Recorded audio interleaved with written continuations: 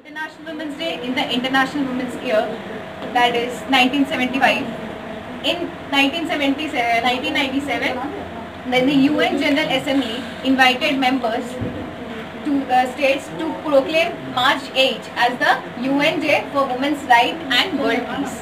Okay, 8 March basically is the International Women's Day where the women's rights are made and peace. International Women's Day, uh, what is the significance? So International Women's Day is a day when women are recognized for their achievements. Uh, some quotes that I have made on women empowerment. Uh, first, appreciate them if they are right. They specially learned how to fight. You don't know their whole strife. You only wonder how they are alive. I hope you got the meaning and I don't need to explain. Uh, second one, speak up or bear all. Once you just be silent, mm-hmm. you are bearing all the things happening around you and with you. The third one, beauty doesn't, your brain matters.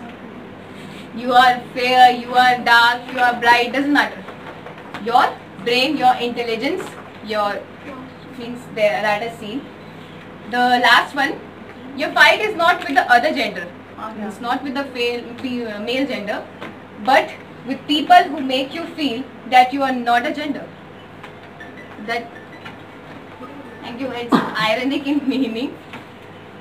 Basically, this is my chart presentation on International Women's Day. creator. She is equivalent in all every field of as compared to man. According to Mahatma Gandhi, um, he has uh, greatly said that a woman is a companion of a man with equal mental capacity. She can do all the things which a man is capable of doing, starting from to the, the starting from uh, doing all households to the uh, to the corporate levels. Therefore, we, we can say that women are the roots of the nation. She creates, she has the power to create, transform, destroy and nurturing. Therefore, we say that she acts like a circle. Within her is the power of creating, transforming and nurturing. लड़कों को भी बड़े post नहीं मिलने चाहिए लड़कों को भी लड़कियों को भी बड़े पोस्ट मिलने चाहिए क्योंकि वो हमें हमें लड़कों को मोटिवेट करना चाहिए हम उनको हम हमें लड़कियों की मदद करनी चाहिए क्योंकि लड़, लड़कियाँ लड़कों से बेहतर कर सकती है ये हम सब जानते हैं। अगर दुनिया को आगे ले जाना है तो लड़कों, लड़कियों और लड़कों को साथ में अपना योगदान देना होगा। लड़कियों को आगे आना होगा। Educated male of the society I myself believe that women regardless of the colour caste culture should also get equal rights and opportunities just like the males around This rational equality should not be concised for only gender, but as a human right given to every human to ever walk on earth. From a very small age, girls should be taught about their rights and consent, and boys should be taught to respect, care, and see women as their equal and not as an object to oppress. At the end, I would like to say that every woman is an angel, and I'm lucky to have you all in my life. Thank you. A woman regenerate you and make you come alive. She loves you unconditionally and is ready to forgive you again and again.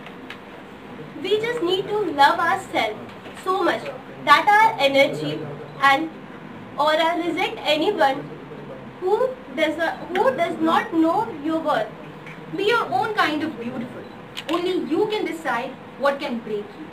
Our chart and a simple drawing which shows that uh, men and women are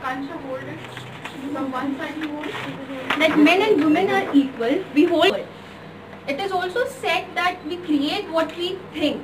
So I think the main uh, problem lies in our thoughts, what we think about about the aspect of women. to Ved, a man is incomplete without their wife.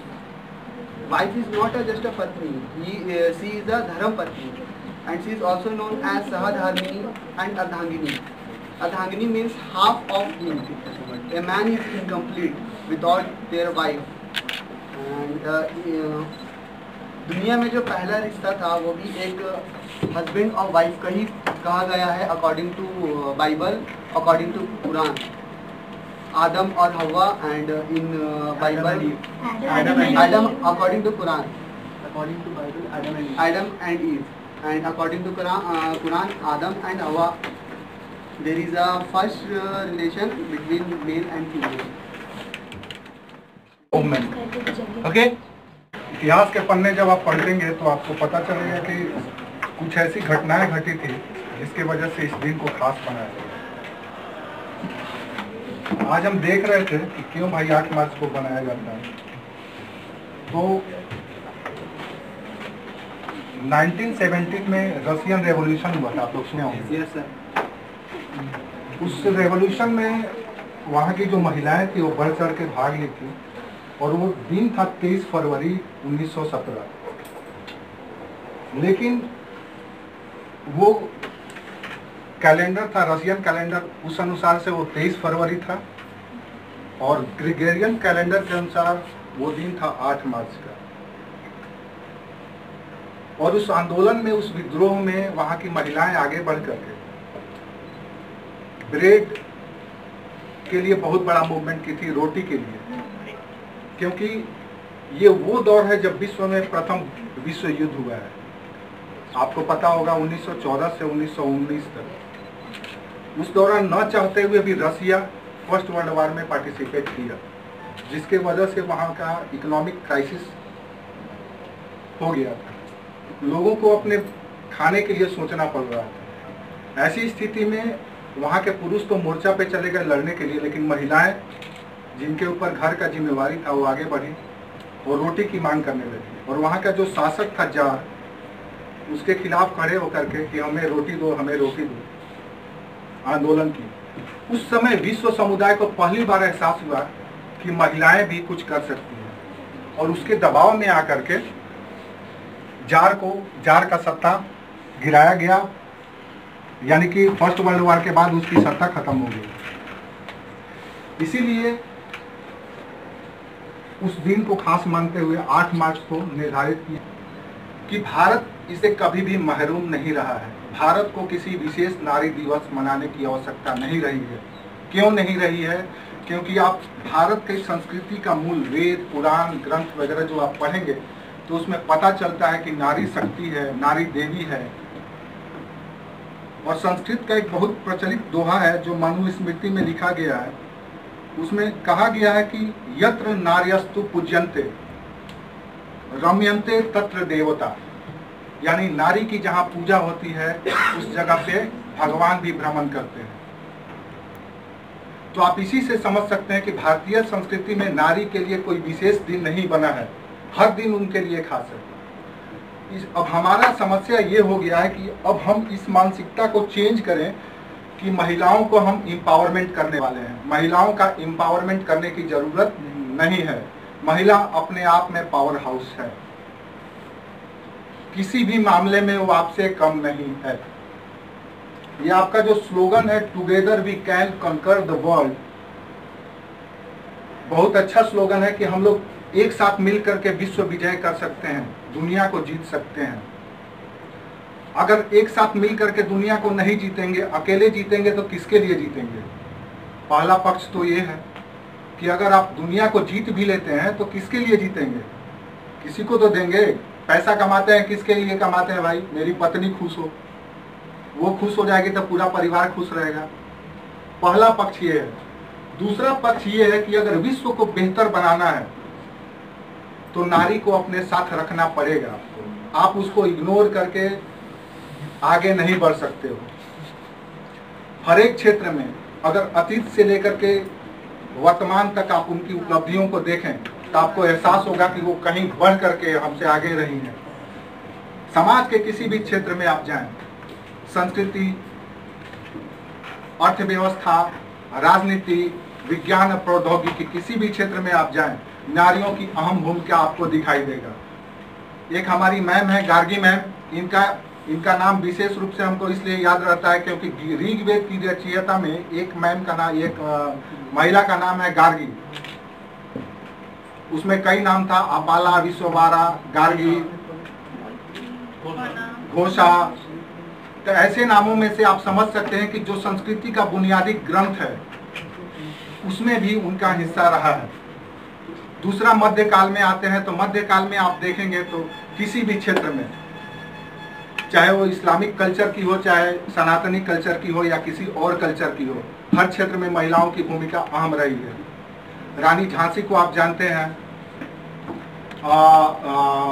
Iltutmish की बेटी का क्या नाम था? रजिया सुल्तान को आप सुने होंगे। उसके बाद चलिए ये इंदिरा गांधी कल्पना चावला। आज के समय में वर्तमान दौर में देखें तो कई ऐसे ऐसे नाम है अरुंधति घोष। उसका मोहताज नहीं है बल्कि पुरुष उनके मोहताज हैं। तो इसलिए नारी का अगर सशक्तिकरण करना है और वाकई में आप चाहते हैं कि विश्व विजय हो मिल करके किया जाए तो जो समकालीन परिस्थितियाँ हैं, उसमें थोड़ी बहुत बदलाव की ज़रूरत है।